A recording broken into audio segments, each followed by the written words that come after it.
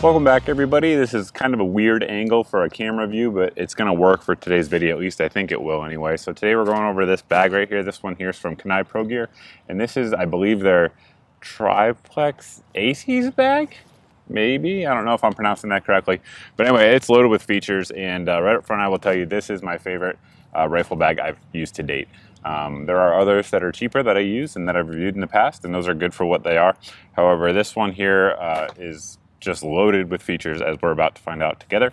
Um, and it's made of 500D Cordura, so right up front, very high quality material.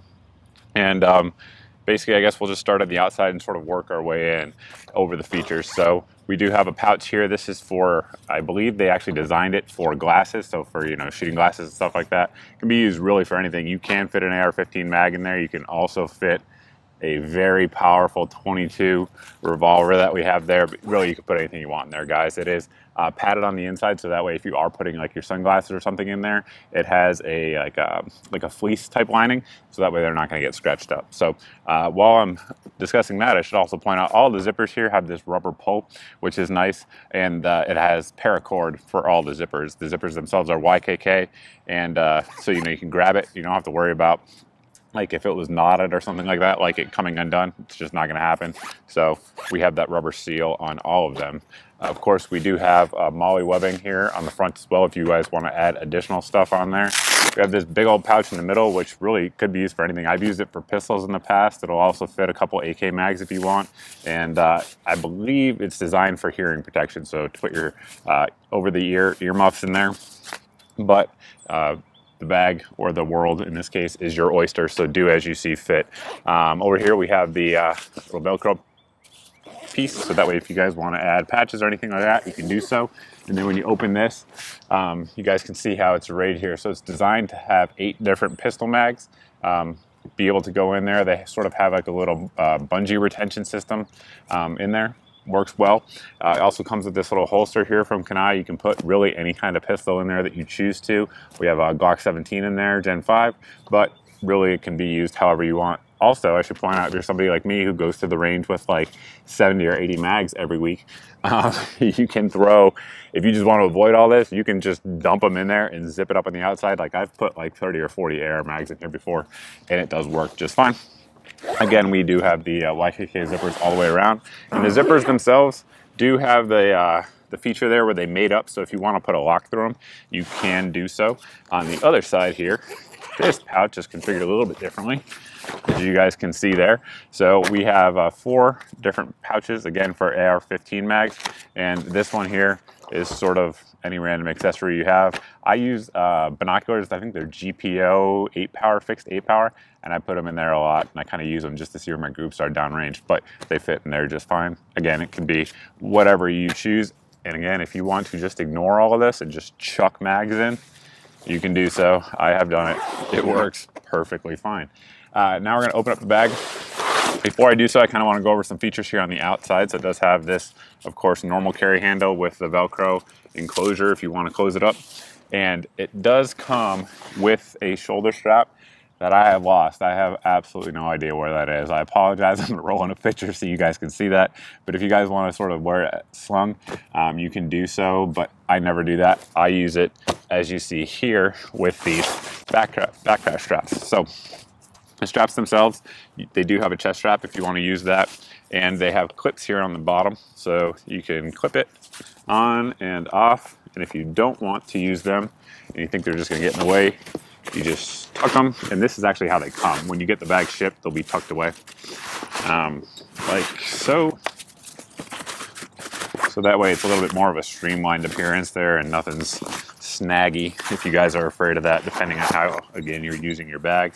I like it though. I use it as a backpack uh, and it works well that way. So that, if I can actually tuck them away here, it's always harder when the camera's rolling, right? Um, is how that works. Uh, they also have these two adjustable straps here on each side to close it down if you want to make sure everything's cinched up really well once you have your rifles and pistols and everything in there. So uh, we have handles here on each side. If you guys want to pull on them, drag it around, you can do so. I have done so.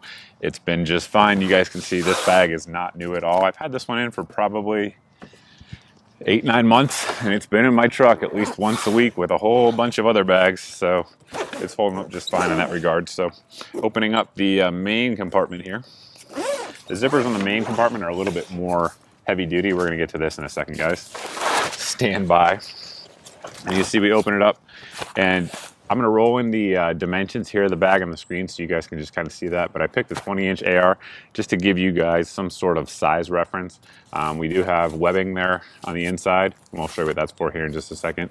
But you can really use that for anything as anybody knows who's uh, been in the military before. The, the possibilities there are endless. But even with a 20 inch AR, um, there's plenty of room. There's probably three inches, four inches extra that you have there easily um, before you're to run into any sort of issues. We do have a padded divider here in the middle, but if you guys don't want the divider and you want to use it as a single rifle case, you can just remove it. It's got hook and uh, loop tape there. I believe it's 3M, and uh, you can remove it if you don't want it.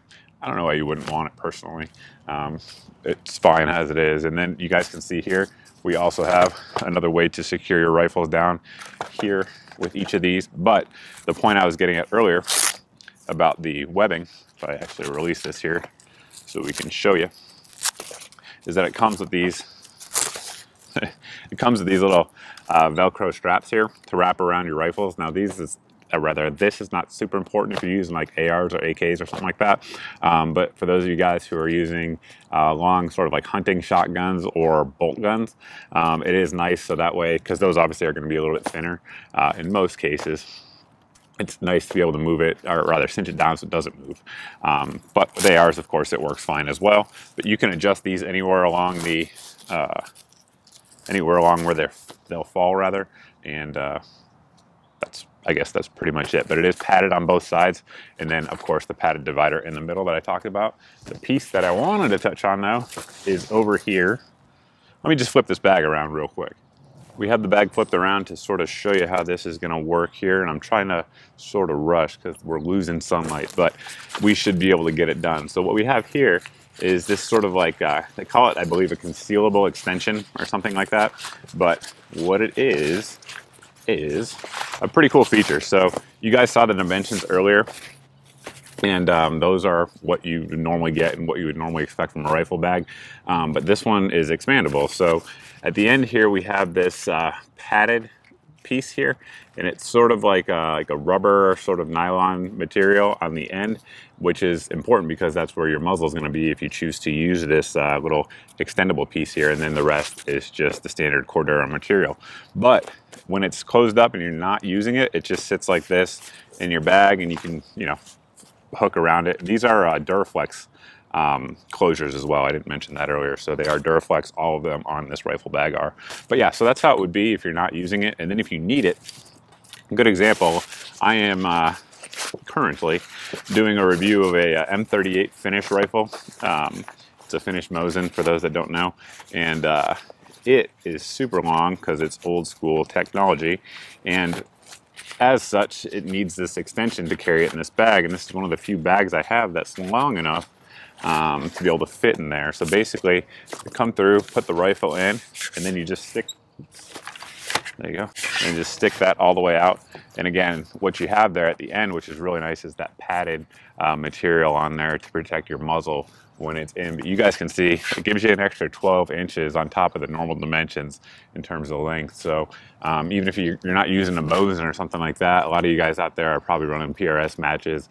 And uh, some of you guys with you 6.5 Creedmoor and 224 Valkyrie folks are probably running some long barrels. So if that's the case, um, you have another 12 inches to be able to put your rifle in there. So I think that's pretty darn cool. So that's about it. I think we covered most of the features of this bag. Uh, like I said, it is the nicest one I've ever used to date. Um, so, I mean, it's very nice all the way around. It has good stitching. Everything's box stitched where it needs to be. Um, even on these interior little straps here, you have box stitching on it, which you're not going to see in some of the lower quality bags out there. Um, but that goes through towards every different component here. Um, the price on it is not cheap. So the normal price, I think, is like 149 However, stand by. It's like uh, one of those infomercials. But wait, there's more. No, but they do offer a uh, viewer discount code here that you guys see on the screen, so you guys can get um, some money off of that price, which certainly is always nice. As far as I know, right now, it only comes in black. If that changes or if I'm wrong, I'll annotate it, but I'm pretty sure that's the case. So that's pretty much it, guys. If you have any questions about the bag, anything I didn't cover on it, anything that you need more details on, by all means, post down below in the comments section. However, the best way to get in touch with me these days is over on my Facebook page that you see here in the bottom of your screen. And uh, I just tend to see the comments over there more uh, than I do here on YouTube, Full 30 and elsewhere. So that's it, guys. Thanks for watching. Thanks for subscribing. If you're not subscribed and you just saw the video here and uh, it's your first video, please go ahead and subscribe. We do appreciate it and it is free. So that's pretty much it, guys. Thanks for watching. We'll see you in the next video.